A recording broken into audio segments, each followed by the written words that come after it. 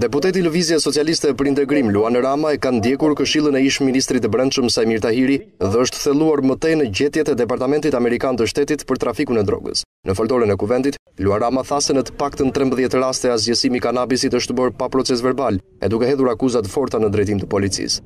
Të paktën kam identifikuar deri tani trembëdhjetë raste të asgjësimit të lëndëve narkotike, ku nuk është mbajtur asnjë proces verbal, ku nuk ka qenë prezent prokurori, ku nuk ka qenë prezent përfaqësuesi i gjykatës. Kemi të bëjmë me provë të një procesi hetimi, të një procesi penal. Dhe çfarë ndodh?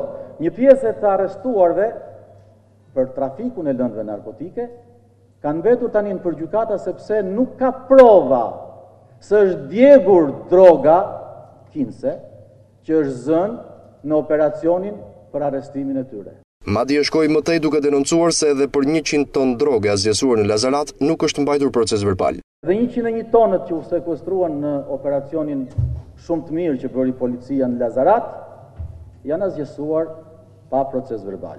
Pra kemi të bëjmë me shkelje të ligjit. Kemi të bëjmë me mosveprim të organit të prokurorisë përballë këtij realiteti.